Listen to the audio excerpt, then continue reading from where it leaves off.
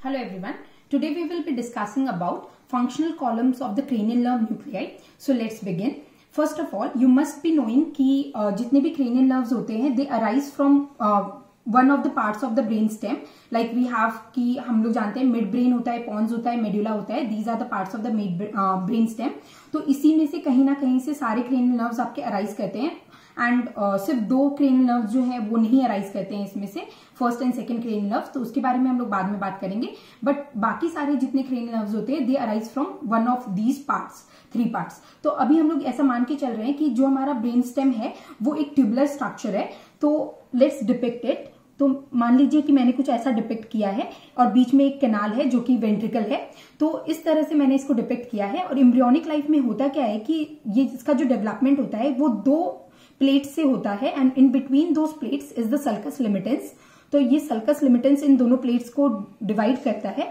ये जो interiorly placed जो प्लेट होता है that is the basal plate और पीछे जो होती है, पीछे की तरफ़ that is the alar plate अब बेजल प्लेट जो होता है that is anterior and it is motor and जैसा कि आप लोग सब जानते हैं मोटर को हम लोग इफरेंट भी बोलते हैं। Whereas alar plate जो है as you can see is posteriorly placed and ये होता है आपका सेंसरी एंड जैसा कि आप जानते हैं कि सेंसरी को हम लोग अफरेंट भी बोलते हैं. फ़र्स्ट ऑफ़ ऑल कैसे आप ये याद रखोगे कि बेजल प्लेट जो है वो आपका इंटीरियरली प्लेस्ड है? इस बात को याद रखने के लिए मैं कैसे याद रखती थी? दैट वॉज़ कि A is not for A मतलब एल आर प्लेट जो है that will not be anteriorly placed तो इसका मतलब basal plate will be anterior plate पहला तो ये हो गया। द अदर थिंग इज़ कि अगर आप ये भूल जाते हो कि सेंसरी वाला कौन सा पार्ट होगा पोस्टीरियर सेंसरी है या फिर इंटीरियर सेंसरी है। तो इसको याद रखने के लिए इट्स वेरी सिंपल कि अगर आपको ये याद रहता है कि डॉर्सल रूट गैंग्लियन वो गैंग्लियन है, वो पॉइंट है जहाँ पे जाके सारे सेंसरी फाइबर्स फर्स्टली रिले करते हैं। तो अगर आपको इतना भी पता है तो यू नो कि डॉर्सल का मतलब जो होता है दैट इज़ पोस्टीरियर अगेन तो पोस्टीरियर सिंस यू नो कि यहाँ पे सेंसरी फाइबर्स रिले करते हैं so it will be sensory so posterior is sensory और पोस्टीरियर अगर सेंसरी है तो इंटीरियर अपने आप मोटर हो गया। नाउ अब अगर हम इसके डेवलपमेंट की बात करेंगे तो सिंस अभी आप मान के चल रहे हो कि ये हमारा ट्यूबुलर स्ट्रक्चर है तो ये इंटीरियर है, ये इसका पोस्टीरियर है बट एम्ब्रियोनिक लाइफ में ये ट्यूबुलर नहीं होता है. It is a plate kind of thing तो वो खुला होता है, पीछे से वेंट्रिकल खुली रहती है, बाद में लेटर ऑन विद डेवलपमेंट ये फ्यूज करके फिर एक कॉर्ड लाइक मतलब आपका ट्यूब टाइप का स्ट्रक्चर बन जाता है, लेकिन अभी हम लोग इसको वापस से खोल देंगे. तो आप यहाँ देख सकते हो कि ये मेरा पोस्टीरियर है तो ये दोनों तरफ़ से पोस्टीरियर आके यहाँ पे मीट कर रहा है, और मैं इसको यहाँ से काट के खोलना चाह रही हूँ तो ये वाला पोस्टीरियर पोर्शन इधर आ जाएगा एंड दिस साइड का पोस्टीरियर पोर्शन इस तरफ़ आ जाएगा। तो अगर यहाँ पे डिपिक्ट करते हैं इसको तो ये मेरा पोस्टीरियरली मैं इसको खोल रही हूँ पोस्टीरियर पॉइंट को तो ये पोस्टीरियर पॉइंट मेरा इधर चला जाएगा एंड दिस पोस्टीरियर पॉइंट इधर से इधर चला जाएगा।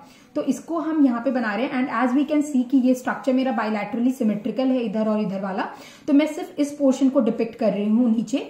तो ये कुछ ऐसा दिखेगा मुझे। ये मेरा इंटीरियर पोर्शन है। And whereas this is posterior portion और ये कुछ मतलब अगर मैं इसको पहले इस तरह से डिपिक्ट कर देती हूँ आपके लिए, छोटे में,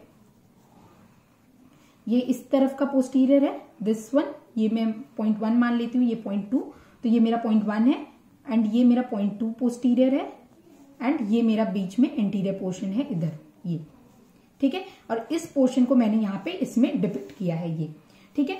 अब बायोलैटरल सिमेट्रिकल है तो दोनों तरफ़ अरेंजमेंट सेम होंगे। सो अब हम लोग ये समझ चुके हैं कि इंटीरियर वाला जो होता है that is efferent and posteriorly हमारा होता है अफरेंट एंड बीच में होता है sulcus limitans so this is sulcus limitans ठीक है? इतना आपको पता है कि इधर फाइबर्स अफरेंट होंगे, इधर फाइबर्स इफरेंट होंगे। नाउ अब आपको ये भी पता है कि फाइबर्स दो तरह से आते हैं मतलब हमारे दो पार्ट से आते हैं। One is somatic part that is your bodily sensations and दूसरे सेंसेशंस जो होते हैं they come from the viscera that is your gut your lungs your pancreas any other organs है ना? हार्ट हो गया। तो इन सब ये सब आपके विसराज हैं और जैसा कि आप जानते हो कि नॉर्मली बॉडी में भी आपके विसरा को बहुत प्रोटेक्शन मिलता है। लाइक like, आपके थोरैक्स में रिब केज है उसके अराउंड में मसल्स हैं। एंड वैसे ही आपके गट के लिए भी हम लोग बाहर में इतना मसल्स का लेयर है हमारे पास पेरिटोनियम है। तो इतना सब कुछ है हमारे पास पूरा उसको कवर करने के लिए। तो लाइक वाइज हम लोग यहाँ पे विसरल सेंसेशन को भी बीच में रख के इसको प्रोटेक्शन देंगे आगे से फ्रॉम द सोमैटिक एंड इधर भी हम लोग सोमैटिक फाइबर्स को रखेंगे। तो इधर से भी हम लोग की सोमैटिक फाइबर्स इसको प्रोटेक्शन देंगे एंड इस तरफ़ भी सोमैटिक फाइबर्स इसको प्रोटेक्शन देंगे। सो so, ये जो मिडिल पोर्शन है आपका that will be your visceral portion ये आपको समझ में आ गया?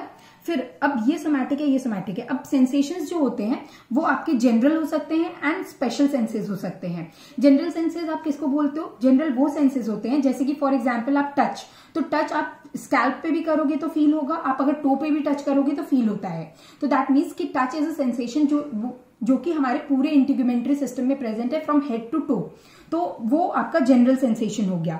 वेर एज अगर स्पेशल सेंसेस की बात करो तो स्पेशल सेंस में जैसे कि फॉर एग्ज़ाम्पल आपका टेस्ट तो ऐसा नहीं बोल सकते आप कि मैं अगर पैर से टच करूँगी तो मैं टेस्ट कर सकती हूँ. ऐसा नहीं होता.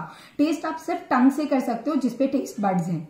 तो that is a special sense या फिर अगर हम बोले कि सुन कहाँ से सकते हैं तो it is only the ear आप टंग से सुन नहीं सकते. तो वो सारे सेंसेस जो आप सिर्फ़ एक पर्टिकुलर ऑर्गन से कर सकते हो that will be your special sense अब ज़रूरी नहीं है सिर्फ़ सेंसेस स्पेशल होते हैं इवन मोटर भी फाइबर्स जो होते हैं सेंसरी ही फाइबर्स सिर्फ़ स्पेशल नहीं होते या जनरल मोटर फाइबर्स भी होते हैं. We will be discussing it later for now आप ये बस समझो कि फाइबर्स दो तरह के होते हैं एंड दैट इज़ जनरल भी होते हैं एंड स्पेशल भी होते हैं. नाउ जैसा कि आप जान रहे हो कि फाइबर्स दो जगह से आते हैं and that is somatic and viscera तो सोमैटिक फाइबर्स होते हैं आपके पास एंड विसरल होते हैं।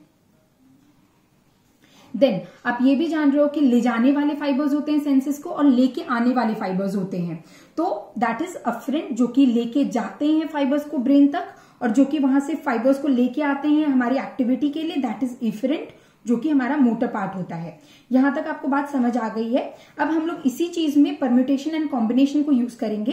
एंड विद दैट हम लोग कॉलम्स को बनाने की कोशिश करेंगे for the visceral portion and for somatic portion तो विसरल के लिए पहले हम लोग बनाते हैं। तो विसरल के लिए अगर बना तो that is general visceral afferent then general visceral efferent then special visceral afferent then special visceral efferent ये हो गया हमारा विसरल के लिए।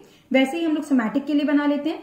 General somatic afferent general somatic efferent general visceral general special somatic afferent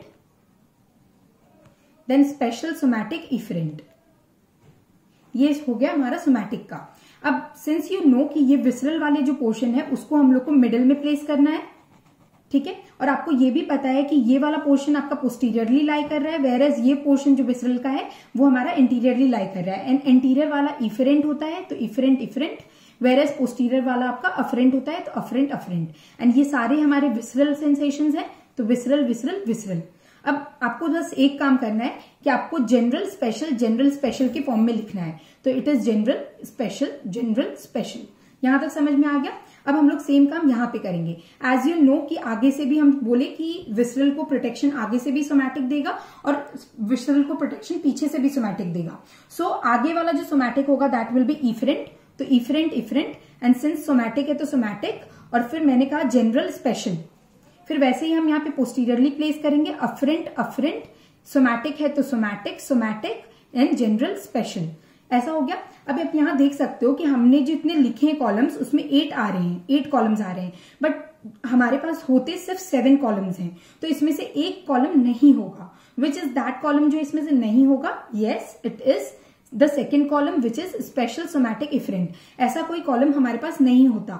since आपने एक special column को कम किया तो to give regard to special thing हम लोग क्या करेंगे कि जो नेक्स्ट स्पेशल कॉलम आ रहा है, उसको हम लोग थोड़ा सा प्रायोरिटी देते हुए इस जनरल के आगे प्लेस कर देंगे। ठीक है? तो अब हमारे पास जो सीक्वेंस हो गया that is number one number two as it is placed before the general one फिर थर्ड वाला, फिर fourth fifth six and seventh I hope यहाँ तक आपको समझ में आया कि किस तरह से अरेंजमेंट्स होते हैं फ्रॉम एंटीरियर टू पोस्टीरियर ठीक है, इस तरह से आपको जब अरेंजमेंट समझ में आ गए हैं तो ये आपको क्लिनिकल क्वेश्चंस में भी बहुत हेल्प करने वाले हैं। जितने भी हम लोग ब्रेन स्टेम लेजन्स के बारे में पढ़ते हैं, जब हम लोग कहते हैं कि कोई सिंड्रोम जो है वो उसमें anterior portion of the midbrain या फिर anterior portion of the pons आपका डैमेज हो रहा है तो आपको पता है कि एंटीरियरली प्लेस्ड आपके सिर्फ़ ये फाइबर्स होते हैं और अगर इंटीरियरली डैमेज हो रहा है तो ये फाइबर्स आपके प्रिजर्व होंगे तो इसके जितने भी सेंसेशन है, जितने भी आपके सेंसरी सेंसेज हैं, वो आपके प्रिजर्व होंगे वेयर एज आपके मोटर वाले जो है, वो लॉस होंगे एंड डिपेंडिंग अपॉन कि किस level of your brain stem में डैमेज हो रहा है, उसके बारे में हम लोग बाद में डिस्कस करेंगे।